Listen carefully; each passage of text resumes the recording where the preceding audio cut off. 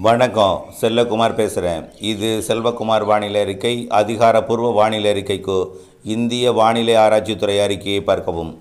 இரண்டாயிரத்தி பத்தொன்பது செப்டம்பர் இருபத்தி நான்கு செவ்வாய்க்கிழமை அதிகாலை ஐந்து மணி வானிலை ஆய்வு முடிவு. வானிலை அமைப்பு வங்கக்கடலில் ஆ- ஆந்திர கரையோரம் நீடித்து கொண்டிருக்கக்கூடிய காற்று சுழற்சி தீவிரமடைந்து கொண்டிருக்கிறது. இன்று நாளை அது காற்றழுத்த தாழ்வு நிலையாக மாறி ஆந்திர கரையை கடந்து அதாவது ஆந்திர கரை அது வந்து புயல் கிடையாது தாழ்வு நிலை.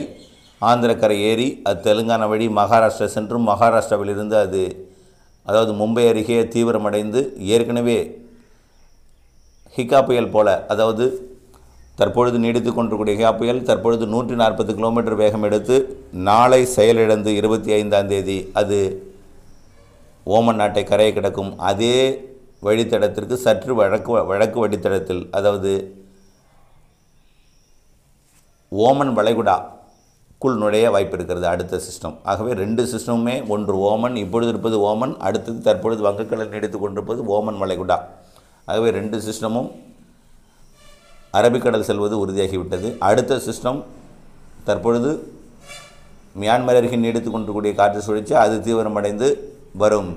இருபத்தி ஆறாம் தேதி நாளைய மறுதினம் மேற்கு வங்கம் மற்றும் ஒடிசா இடைப்பட்ட பகுதிக்கு செல்லும். தற்பொழுதைய வானிலை நேற்றைக்கு பல மாவட்டங்களில் கனமழை பெய்தது. பெங்களூர் முதல் கன்னியாகுமரி வரை சென்னை முதல் தற்பொழுது சென்னை கூட லேசான மழை பெய்து கொண்டிருக்கிறது வட சென்னை பகுதியில். வட சென்னை திருவள்ளூர் மாவட்டத்தில். அதே தான் நம்ம இரவு அறிவித்திருந்தோம். வட சென்னை திரு திருவள்ளூரில் இறுதியாக முடியும் என்று அறிவித்திருந்தோம். அதே போல் நிறைவு நிறைவடையும் வகையில் லேசான மழை பெய்து கொண்டிருக்கிறது.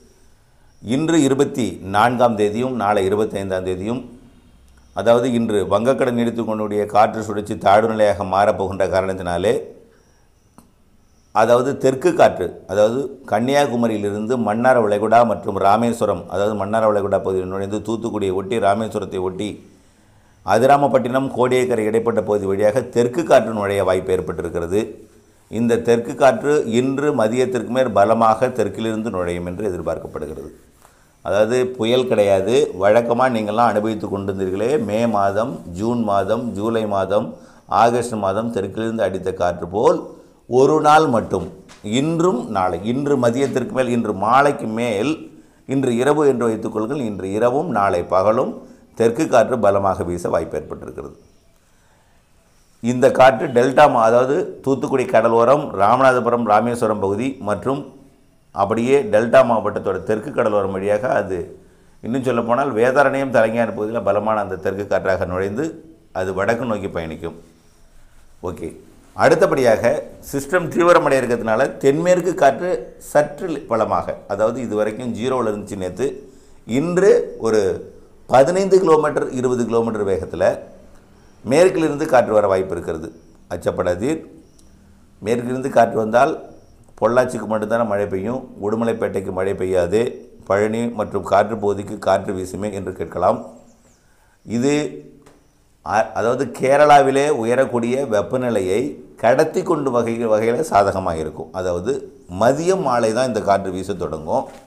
ஆக வெப்பநிலையை இதமாக நகர்த்தி கொண்டு வர கேரளாவில் உ- உயர்ந்த வெப்பநிலையை பொள்ளாச்சி பகுதிக்கும் அதாவது கேரளா வெப்பநிலையை மேற்கு தொடர்ச்சி மலை மாவட்டங்களுக்கும் மேற்கு தொடர்ச்சி மாவட்டத்திலிருந்து அண்டை மாவட்டத்திற்கும் இப்படி கிழக்கு நோக்கி கடத்தி கொண்டு வர இது வா சாதகமாக அமையும் என்பதனால் இன்று சென்னைக்கும் மழை வாய்ப்பு ஏற்படும். சென்னை திருவள்ளூர் காஞ்சிபுரம் வேலூர் திருவண்ணாமலைக்கும் இதுவரைக்கும் நகர அதாவது மிகவும் மெல்ல நகர்ந்து அங்கேயே நீடித்து நின்று பெய்த மழை நீடித்து நின்று பெய்தாலும் கிழக்கு வரை கொண்டு வந்து மழையை கொடுக்கும். இன்று இருபத்தி நான்கு இருபத்தைந்தாம் தேதி இன்று அனைத்து மாவட்டங்களுக்கும் மாலை இரவு கனமழை பெய்யும். இருபத்தி நான்கு இன்றும் நாளை இருபத்தைந்தும் அனைத்து மாவட்டங்களுக்கும் மாலை இரவு கனமழை பெய்யும். இதில் பெங்களூரும் மைசூரும் மற்றும் கிருஷ்ணகிரி மாவட்டம் தருமபுரி மாவட்டம் மற்றும் ஆந்திர மாநிலத்தின் குப்பம் திருப்பதி பகுதியும் அடங்கும். அதே போல் இலங்கைக்கும் கனமழை கொடுக்க வாய்ப்பு ஏற் இலங்கைக்கும் கனமழை கொடுக்கும் வாய்ப்பில்லை உறுதியாக கொடுக்கும். ஆகவே இந்த இருபத்தி நான்கு இருபத்தைந்து ரெண்டு நாளுக்கு பிறகு இருபத்தி ஆறிலிருந்து என்ன ஆகும்னா இருபத்தி ஆறு சிஸ்டம் எங்கே போயிரும்னா வங்கக்கடல் இருக்கிறது ஆந்திர கரை கடந்து தெலுங்கானா கடந்து இருபத்தாறாம் தேதி அரபிக்கடல் சென்று விடும் என்பதனால காற்று திசை மாறிவிடும். அரபிக்கடல் காற்று தமிழகம் ஊடாக நுழையாமல் திசை மாறி இருக்கு என்பதனால இருபத்தாறுக்கு மேல் காற்று பகுதிக்கும் மழை காற்று பகுதிக்கு மழை. இருபத்தாறு டெல்டா மாவட்டங்களுக்கு மழை வாய்ப்பு குறையும். இருபத்தாறு இருபத்தி ஏழு லேசான மிதமான மழை மட்டும் இருக்கும். மாலை இரவு நேரத்தில் மட்டும் அறுவடை விவசாயிகள் டெல்டா மாவட்டத்தில் விதைப்புக்காக காத்திருக்கும் விவசாயிகளும் அறுவடை விவசாயிகளும் செங்கல் சூளைக்கு தீயிட காத்து கொண்டிருக்கும் விவசாயிகளும் வரும் இருபத்தி ஆறாம் தேதி நீங்கள் உங்கள் பணியை தொடங்கலாம். இருபத்தி ஆறு இருபத்தி ஏழு இருபத்தி எட்டு மட்டும் மழை இருக்கும். இரவு நேரங்களிலே ஒரு அரை மணி நேரம் ஒரு அரை மணி நேரம் மழை இருக்கும். ஆனால் பகலிலே அதாவது இன்று போல் நாளை போல் நேற்று போல் பகல் மாலை இரவு மதியத்தில் மழை இருக்காது. இரவு மட்டும் வரும் டெல்டா மாவட்டத்தில். ஆகையினாலே வரும் இருபத்தி ஆறு வியாழன் இருபத்தி எட்டு வெள்ளி இருபத்தி ஒன்பது சனி மூன்று தினங்களிலே நீங்கள் அறுவடையை செய்யலாம். அதே போல் விதைப்பு பணியும் செய்யலாம். நீங்கள் அதை திட்டமிட்டு கொள்ளுங்கள். அதே நேரத்தில் மேற்கு மாவட்டங்களில் மதியம் மாலை கண்டிப்பாக மழை பெய்யும். தென் மாவட்டங்களிலும் இன்றெல்லாம் மதியம்லாம் தென் மாவட்டங்களில் கன்னியாகுமரி திருநெல்வேலி தூத்துக்குடி விருதுநகர் ராமநாதபுரம் மற்றும் மதுரை தேனி ஆகிய மாவட்டங்களில் இன்று மதியமே மழை தொடங்கும்.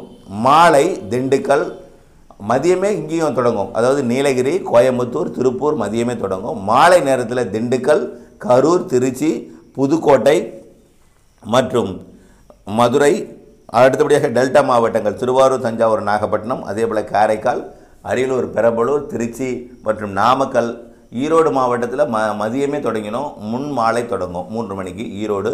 அதே போல் நாமக்கல் சேலம் பிறகு கடலூர் விழுப்புரம் புதுச்சேரி அதே போல் தருமபுரி கிருஷ்ணகிரி வேலூர் திருவண்ணாமலை மற்றும் சென்னை திருவள்ளூர் காஞ்சிபுரம் ஆகிய மாவட்டங்களிலே இன்று பரவலாகவே இன்றும் நாளையும் நல்ல மழை பெய்யும்.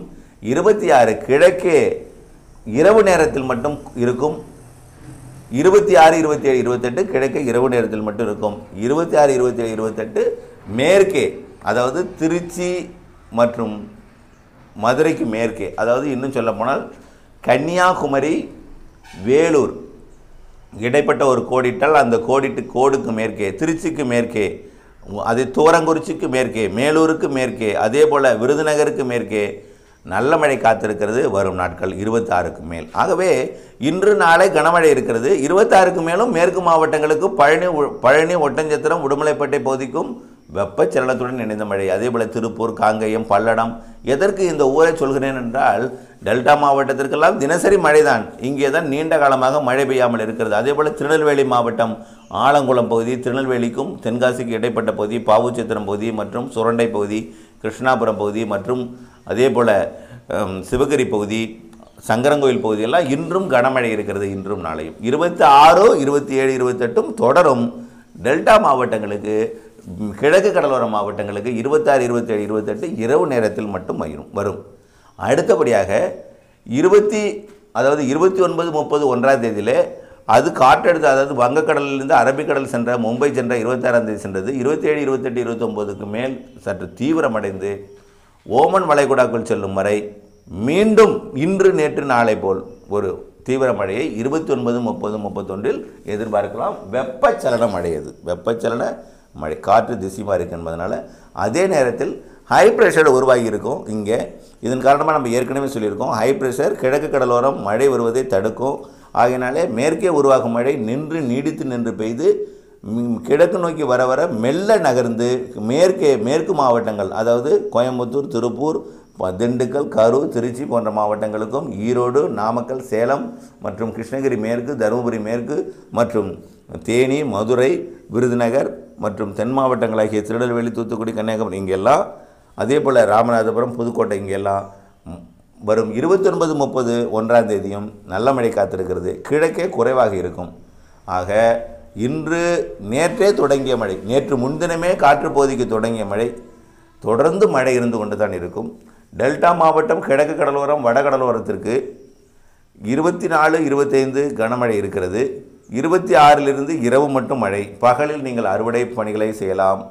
அதே போல் தொடர்ந்து மழை இருக்கும். அக்டோபர் முதல் வாரம் ஹை ப்ரெஷர் ஒரு தீவிரமாக இருக்கும் என்று எதிர்பார்க்கப்படுகிறது.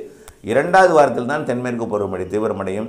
ஆகவே ஆய்வு தொடர்கிறது. தொடர்ந்து இணைந்திருங்கள். நன்றி.